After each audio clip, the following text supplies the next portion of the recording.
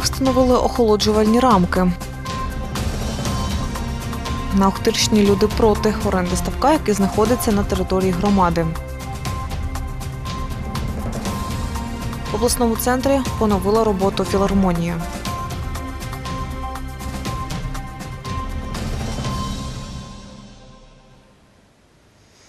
Мої вітання у студії Суспільного. Новини. Охолоджувальні рамки встановили у Сумах. Це металеві конструкції, що розпилюють воду. Встановили їх для того, аби містяни мали змогу охолодитися у спеку. Сьогодні з 9 години ранку розпилювачі запрацювали на театральній площі та у дитячому парку Казка.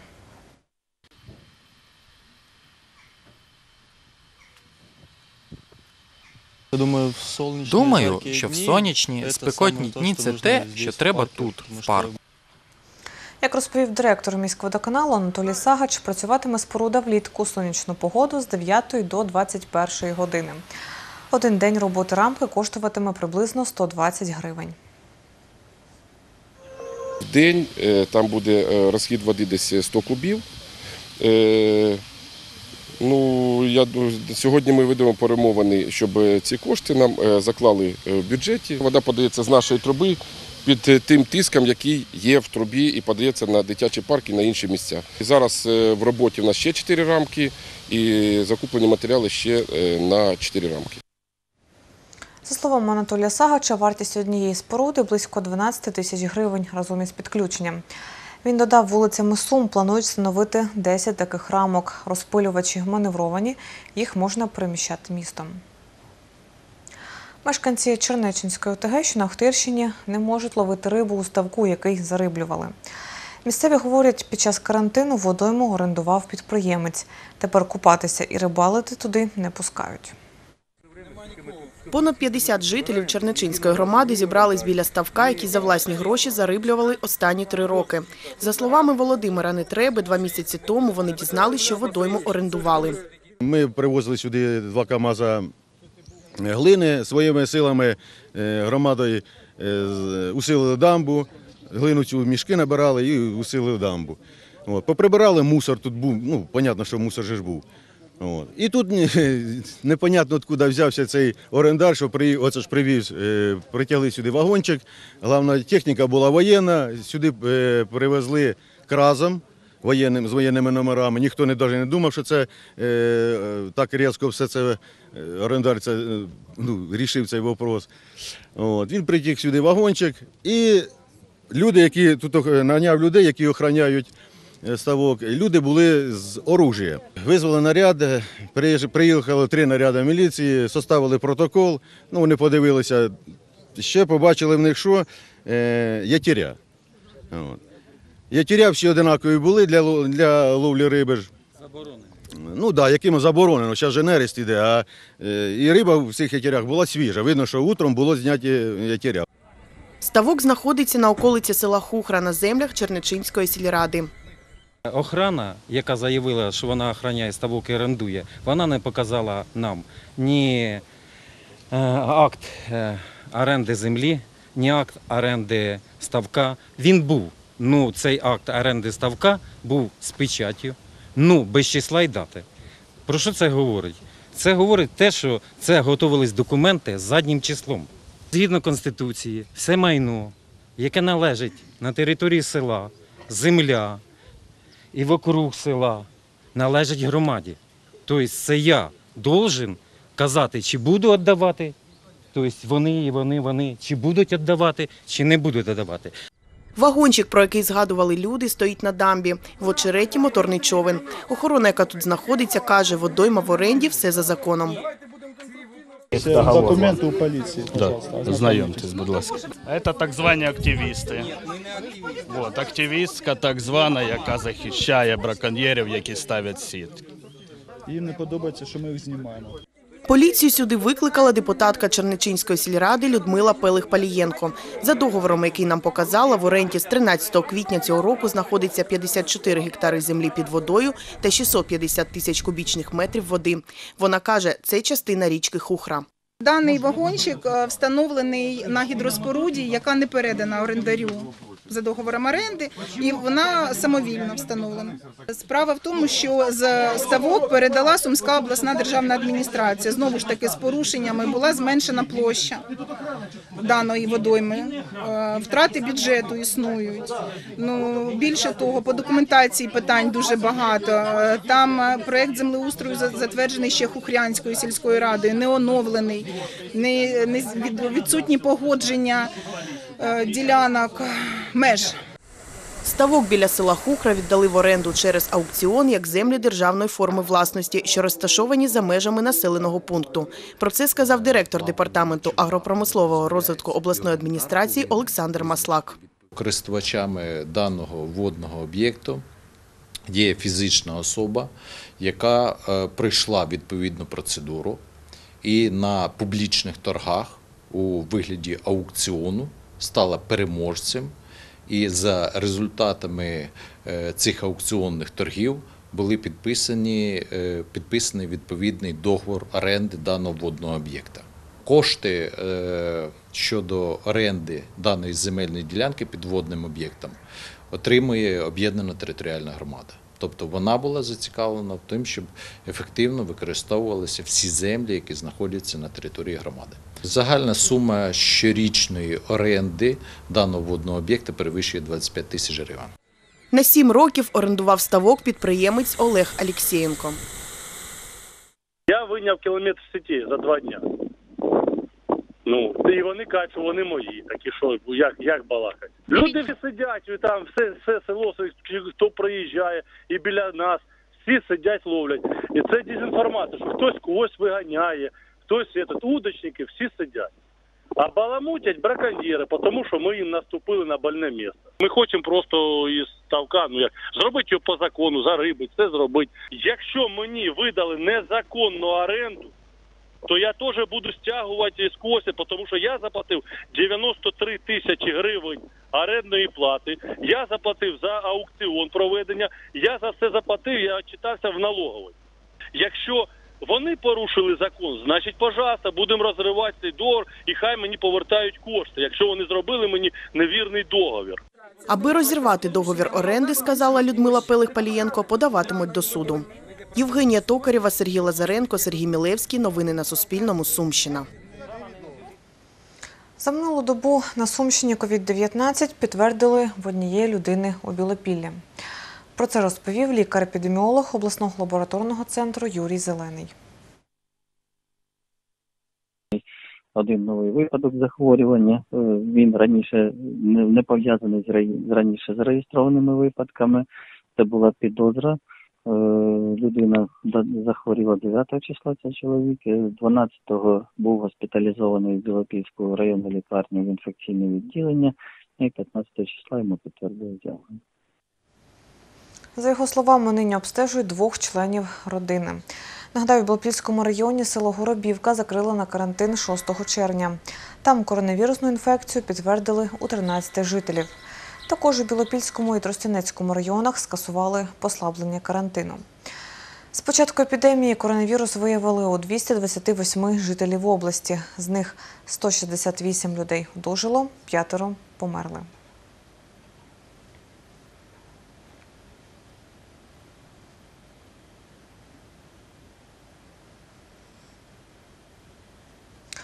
Території Великопистрівського району невідомі повісили російський прапор на інформаційному показчику прикордонного загону.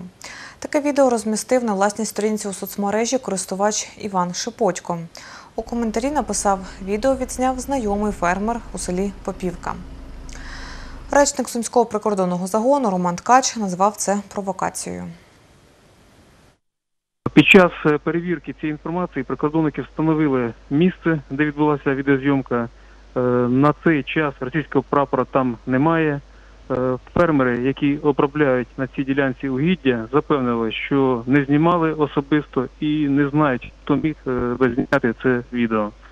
Наразі з'ясовується інформація щодо обставин вказаної провокації. Наразі співробітники управління СБУ Сумській області у межах компетенції у взаємодії з прикордонниками перевіряють дану інформацію, а також всі обставини пов'язані з нею.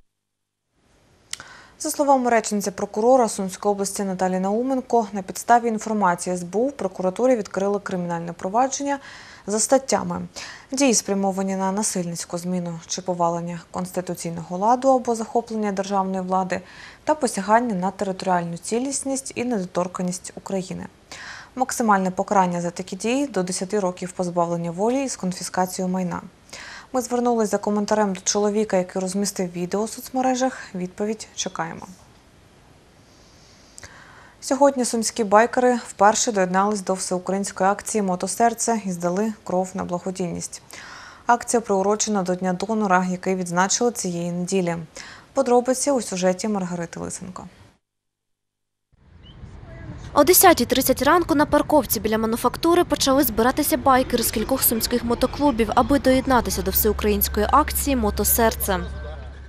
Кров здавати я не зможу, але приїхав за компанію зі, зі своїми друзями, тому що це, ну, як кажуть, всеукраїнська акція і мотоциклісти її підтримують всі. Львівські товариші е, з нашого клубу здавали кров вчора. Е, Ми по узгодженню з нашим центром крові здаємо його сьогодні. Е, Можна здавати і завтра. Є початок дня донора, але немає його закінчення. Мотоколоною з трохи більше ніж 10 мотоциклістів байкери рушили вулицею Петропавлівської до Сумського обласного центру служби крові.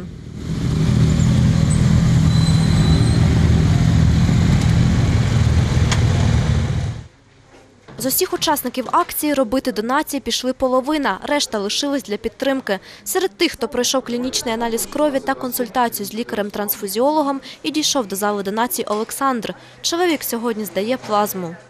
Це абсолютно безболісна процедура, і я дуже радий, що прийняв участь в акції. Із послабленням карантину кількість донорів в Сумському обласному центрі служби крові збільшилась, ставши такою, якою вона була і до його початку. Це близько 300 або 320 донорів за день. Цього досить, аби забезпечити потреби в компонентах крові медичних закладів Сум та Сумської області. Про це розповіла завідуюча відділенням медичного обстеження Сумського обласного центру служби крові Антоніна Бабинець. Також, за її словами, тут з 27 квітня можна зробити безкоштовне тестування на антитіла до COVID-19. Ми визначаємо сумарні антитила, це імуноглобуліни G та M. Це не ПЦР-обстеження, це імуноферментні аналізи. Кожна людина, яка е, має підстави вважати, що можливо вона перенесла безсимптомно це захворювання, або бажає е, прийняти участь у зборі антиковідної плазми, може прийти і протестуватися.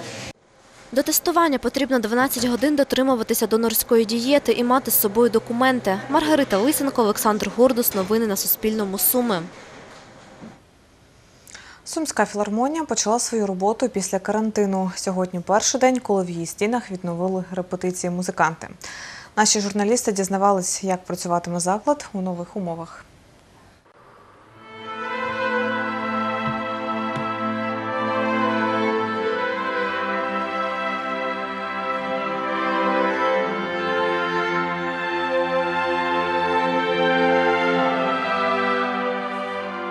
Це перша спільна репетиція камерного оркестру філармонії з початку карантину. Музиканти зібралися після перерви і готуються до зустрічі з слухачем. Перше почуття, коли зайшли в філармонію, е, казали, що все це колись було в іншому житті. Щось дуже давно ми не спілкувались. Але коли, знаєте, взяли інструмент в руки, і диригент сказав настройка. І ми всі відчули, що вроді карантину не було, життя продовжується. Було, е, звісно, трохи не по собі, е, що е, не приходиш сюди в філармонію, е, е, тому що мені дуже подобається ця робота. Ну, скрипку е, я е, брав в руки майже кожен день. Ми всі підтримували зв'язок один з одним. Ми спілкувалися у мережах. Вже так е, довго сиділи вдома і засумували за колективом, за тим, е, за цим містом, тому що цілий рік я тут працювала зі, зі всіма, е, здружилася. І взагалі класно грати на скрипці, відчувати музику, коли ти граєш, і ви всі разом. Ряд запланованих концертів оркестру довелося перенести. Тепер закриватимуть сезон, як це було зазвичай навесні, і невдовзі у жовтні відкриють новий. Багато планів запросити диригентів, які могли попрацювати з оркестром, показати свої нові програми. Наше керівництво дозволило нам е, працювати при деяких умовах з тією розсадкою глядача е, по залу. І я думаю, що е, в цей літній період, і коли в нас завжди відпустки, то зараз приїжджають у відпустку діти, у кого тут є батьки, з Києва приїжджають з інших міст. І я думаю, їм буде цікаво прийти до нас на концерт. Востаннє ця зала була заповнена на початку весни. Зараз, після трьох місяців карантинних обмежень, вона знову готується прийняти відвідувачів. 21 червня тут запланований концерт, присвячений відновленню творчої діяльності в цих стінах. Музиканти, хоч і були вдома, але вони могли з успіхом вдосконалювати свою музичну майстерність. Чому? В кожного є свій власний інструмент, в кожного є свої ноти, і будь-який завгодно твір е, він може спокійно вивчати вдома, розучувати, е, вдосконалювати і таке інше. Тому е, от відповідно втрат якихось таких, будемо казати, пов'язаних з творчістю, ми не відчули. Відчули відповідно адміністративний персонал, який частково знаходився в відпустках, але в відпустках е, тарифних. Хтось на дистанційній був е, роботі. Це в першу чергу е, як концертний відділ наш, який займався плануванням роботи на майбутнє. З розміткою для відвідувачів на підлозі, антисептиками, масковим режимом і частими прибираннями так в нових умовах працюватимуть у філармонії, зачиненим для гостей, поки буде буфет. Частину творчих заходів планують перенести на відкрите повітря. Зокрема, у дворі Сумського держуніверситету на Петропавлівській організують концерт для пенсіонерів, людей з інвалідністю і учасників війни на сході. На подвір'ї ж філармонії планують організувати танцювальний вечір. Анна Книж, Сергій Лазаренко та Володимир Сурков. Новини на Суспільному. Суми.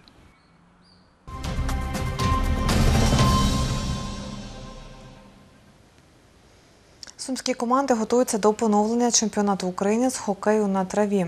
Товариський матч з командою юнаків спеціалізованої дитячо-юнацької спортивної школи Олімпійського резерву Динамо на полі стадіону у дитячому парку Казка провела команда Інституту фізичної культури Сумського державного педуніверситету. На грі побував Олександр Качанов. Дівчата команди Інституту фізичної культури Сумського державного педагогічного університету, які у чемпіонаті України серед жіночих команд вищої ліги йдуть на третьому місці, готуються до першого товариського матчу. Про настрій команди говорить гравчиня Алевтина Шалигіна. що після такої, можна сказати, затяжної перерви і за карантину е, я очікую, що ми дуже гарно виступимо, бо ми е, самі тренувались. Тож е, е, покажемо, як е, кажуть, е, добрий результат та е, якісь нові вивчені фінти. І, звісно, сподіваємося на нашу перемогу. Я думаю, що ми зможемо перемогти хлопців. Ярослав Баргілевич, капітан сумських динамівців. Його команда провела вже три товариські поєдинки проти сумчанки. Ми е, граємо цю гру з новою тактикою, тобто ми хочемо розіграти цю тактику і е, будемо бачити, що далі з нею робити. Але результат який буде?